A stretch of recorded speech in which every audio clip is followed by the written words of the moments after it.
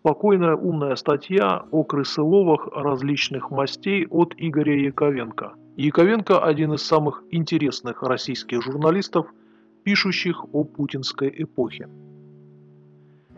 Древняя легенда гласит, что 26.06.1284 года в городе Гамельне появился юноша, который с помощью звуков волшебной флейты увел за собой всех детей и утопил их в реке.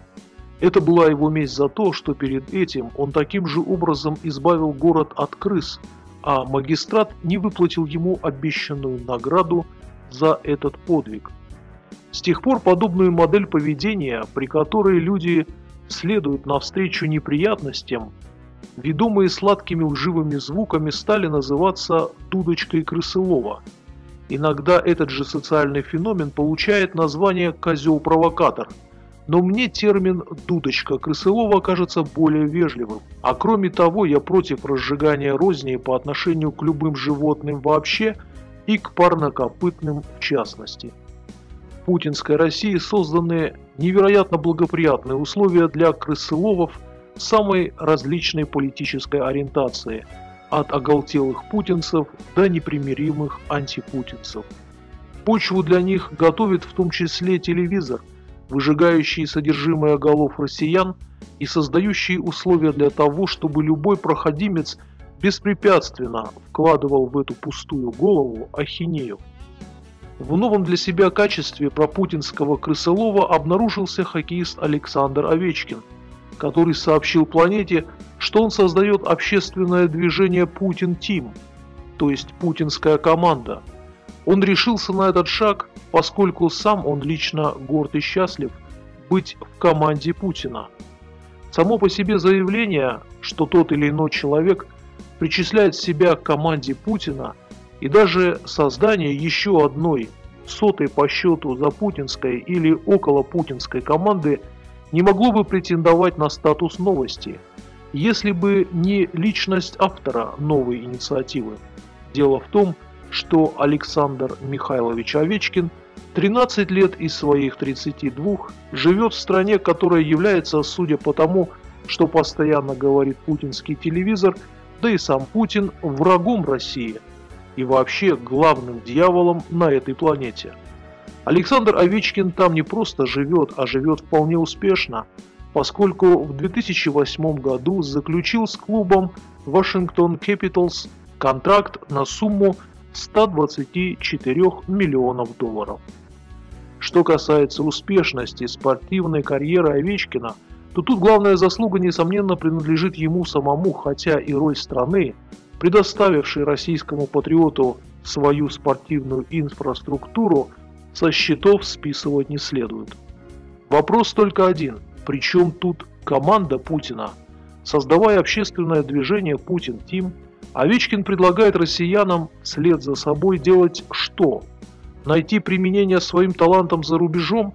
Уезжая из России в 2004 году, Овечкин довольно сильно хлопнул дверью – его клуб «Динамо» не хотел его отпускать, заявляя свои права. Был суд, который Овечкин проиграл, но заявил, что все равно в России не останется. Вот такая вот тяга покинуть родину. Уехал и уже Вашингтонский суд решил дело в его пользу. Родина злобно заскрежетала зубами, с трудом выпуская Овечкина. За 13 лет процветания на чужбине – у Овечкина вырос патриотизм. И вот теперь он всех зовет в команду Путина из Вашингтона. Это первый вашингтонский крысолов. Другой крысолов обосновался сейчас на западе Европы. По утверждению СМИ он сейчас в Париже. Призывает всех россиян устроить революцию в России. Это революционер и русский националист Вячеслав Мальцев, который еще в 2013 году назначил День революции на 5-11-2017 и призвал соотечественников выйти в этот день в 12 часов на улицу к административным зданиям и не расходиться, пока не уйдет в отставку Путин, а также правительство, Госдума и Совет Федерации. И вот этот день настал. Начиная с 12 часов, революционер Мальцев поздравил своих сторонников – с наступлением новой исторической эпохи, после чего почти час захлебывался от восторга на своем канале «Артподготовка» «Мы страшнее ИГИЛ», радовался революционер Мальцев, перечисляя успехи запланированной революции, которую он готовил 4 года, на секундочку. Вся армия выведена на улицу, все в панике, Кремль горит, Шойгу обоссался. Эта система пошла в разнос, все бегают туда-сюда, МВД не знает, что делать и так далее. В это же время независимые вещатели передавали то, что происходило в центре Москвы и в других городах, где полиция деловито и немного с линцой винтила тех, кто последовал призыву парижского крысылова и вышел на площадь в надежде перестоять Путина. Революционеры вполне безропотно следовали в автозаке, и единственный, кто оказал сопротивление, был молодой человек восточной внешности, который явно пытался доказать космонавтам, что он тут совершенно случайно. Революция в кавычках Мальцева началась в 12 часов, а в 14 часов МВД сообщило о задержании 263 человек в центре столицы. Еще через полтора часа Мальцев закончил свою очередную артподготовку, еще раз поздравил соотечественников с наступлением новой исторической эпохи и отключился от эфира. Вождь революции Мальцев после совершенного подвига отправился, скорее всего, в ближайшее парижское кафе, а 263, как минимум, его сторонника поехали в автозаках в места не столь комфортные. Вождь революции Мальцев, завершая свой триумфальный эфир, с веселой улыбкой посоветовал всем сторонникам не очковать, что в переводе на русский обозначает «не бояться», поскольку, цитата, «всех по 205 не посадят, мы их самих посадим».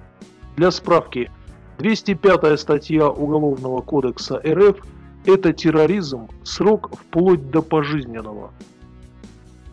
В сегодняшней России протест невозможен без уличной активности, но желательно, чтобы ее организовали люди ответственные, способные разделить судьбу тех, кого они призывают к противостоянию с силовиками, а не провокаторы, требующие от сограждан революции, сидя в Париже и собирающие деньги. Ну вот сейчас а, появись я сегодня на манежке. Ну и что, получил бы пожизненно, и все нормально. А, а смысл? Смысл какой, если можно бороться? Ну что, я сейчас сидел в тюрьме. И какая бы это была борьба? Никакой. Поэтому вы абсолютно не правы здесь. Мальцев, мы вышли за тебя, а ты вышел, не вышел за нас. Ребят, я за вас вышел, знаете, сколько лет назад, и, и не заходил еще. И даже не заходил. А вот тот, кто сейчас это пишет, тот не выходил наверняка никуда. Потому что если бы ты вышел, ты бы сейчас в ЗАКе сидел в спецмашине или сидел бы в подвале.